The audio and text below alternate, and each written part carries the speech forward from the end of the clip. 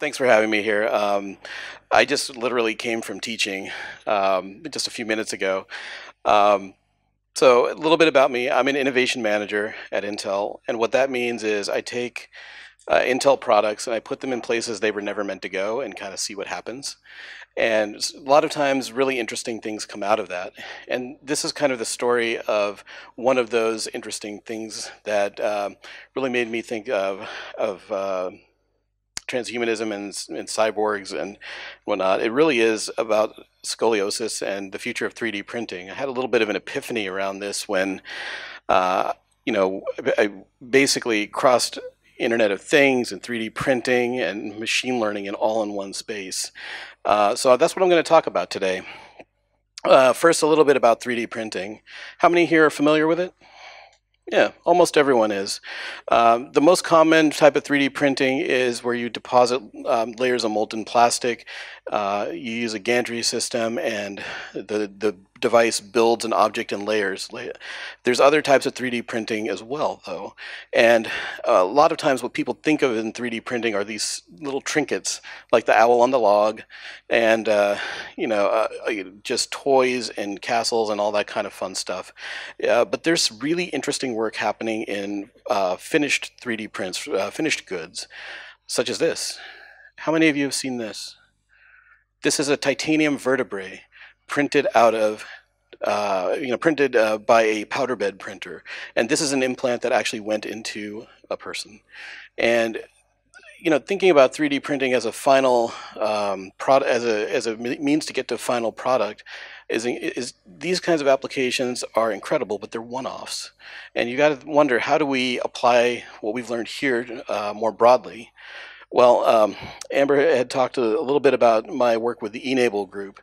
This is the the group that 3D prints prosthetic hands for anyone in need, and this uses that layers of molten plastic, and um, it's an, it's an amazing uh, application of this technology. And imagine every one of these hands is custom made to the user, and we don't think anything of it to, to, to customize the scale, the fit, the form uh, to whatever the user needs. It's a sign of what's to come, and it's just uh, one of the most amazing things I can uh, I've been part of.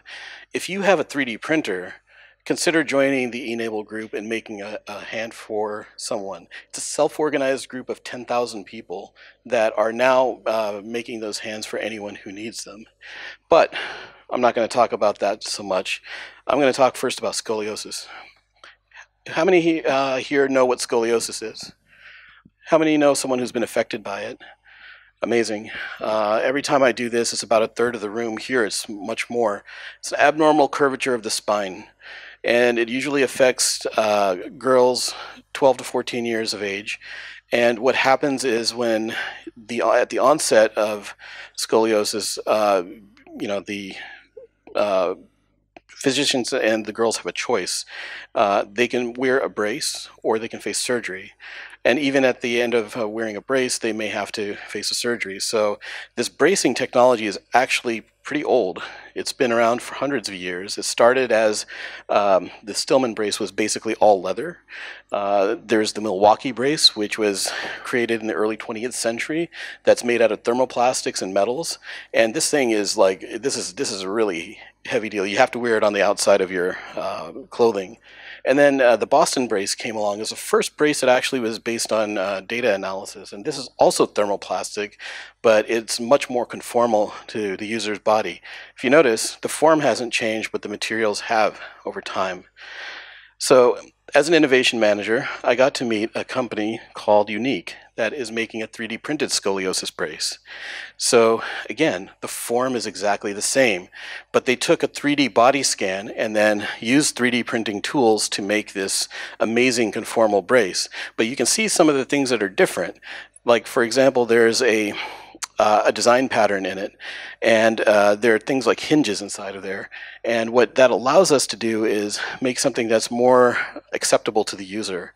And we get the complexity of, of these designs for free because of 3D printing. Right? So what they've really done with this brace more than anything else is they've changed the discussion away from stigma to style. You know, this brace is something the girls want to wear, but there's still a problem the brace is covering up scoliosis, or it's uh, attempting to remediate scoliosis, and then needs to be worn 18 hours a day. How many of you have a 12 to 14 year old daughter? Okay. How many of you have teenage daughters? Okay. You can't make them do anything for 18 hours a day, 18 minutes a day, maybe, you know. But so, how do they solve this problem? The, the answer really comes down to surveillance. So, all right. So when I came uh, and when I found UNYQ, they were putting this data logger on the scoliosis brace, and it measures temperature, uh, the temperature of the of the body. So, you know, we, you can uh, make a rough assumption that if if the temperature, if the sensor is seeing heat, that it's being worn. Guess what happens? 12 to 14 year old girls are really, really clever. They take this brace off and they put it in the sun. You know, they put the dog in the brace. They do all these wonderful little things. All right. So, you know, being Intel, we were like, you know, we, we probably have a microprocessor for that. And sure enough, we did. Because uh, we, we called it Curie, and it was this neat little mote that uh, had Bluetooth integrated, sensors integrated, and it was uh, it had charging points. It was a great little device, and what we we did is said we are going to make these girls wear this 18 hour uh, this brace for 18 hours because uh, they're going to know which 18 hours which 18 hours in the day that they're they're going to um, uh, wear it and we, it was all wrong. We, we, our assumptions were so bad; it was just ludicrous. So we went and actually talked to the mothers and daughters, and they figured out that they just couldn't agree on which 18 hours a day to wear it. So our sensor had Bluetooth in it, and we made an app that you see over here. And this app uh, records exactly how long during the day it was worn over a month and over, uh, I think it is a year in there. I can't see this close. But um, the end result was that the argument stopped and the brace was being worn uh, in a conformant way. It was great. Um, but that's not really why I'm here to talk. You know, I mean, this this we had uh, all sorts of sensors in there. We we got the outcome we were looking for. But I want to point you to those three dots. Do you see what those? Uh, do you see those there? Those are three pressure points on the brace, and that represents uh, the the green represents that the pressure is just right at that point. Uh, kind of like a baby seat. When you put a baby in, you don't want to cinch it down too tight because you might harm baby. The first time it, that the brace is put onto the user is the only time that it's tight enough. And now we were giving indications that it was tight enough for you. What, what happened next was magical. The designers of the brace said, can we have that data? We want to use that thing. We want to use that for um, you know, checking our model. And what they did with it was this. So this is apparently not going to run unless I click, and maybe not even then.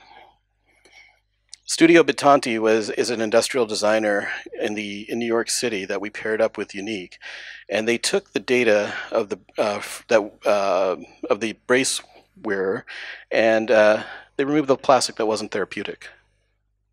They did an optimization first a first pass of a finite element analysis, then they used the data to make the brace in an, into a new form, and what they left with was a wearable work of art. Imagine that this thing has the same efficacy as the one you saw before. And to change the discussion yet again. So this is a brace that not only is functional, but the girls actually really want to wear. And I, I had a bunch of other pictures in here. We, we demonstrated uh, this brace at, um, the, at a fashion show at the White House. It's been on the runway, fashion show at Obama's White House, because you know what will happen if we tried this here. Uh, you get the idea. Um, it really became a symbol of empowerment. But we got to thinking as Intel, how do we sell a little bit more microprocessor? And it became a symbol of mass customization. And that's what we're going to talk about here for the rest of this. There's a lot of friction in the design process of making a scoliosis brace. Three doctor's visits, countless hours of design time and of molding time, and um, and then production on top of that. Uh, there's really seven manufacturing steps that we could remove. So we got to thinking, okay, we can make a better 3D printer, we can make better sensors, great, we can make that happen. I'm not going to talk about that here. What I want to do is think about the design process holistically. Right now it's very linear you have embedded sensors. You take sensor data into a design tool and you do 3D printing. That's where we want to go. Today we don't even have the, or before we did this, we didn't have any, even the sensor part. So we got to thinking, this is what a designer has to deal with when they're dealing, when they're looking at sensor data. It's waveforms. What is the user trying to do here?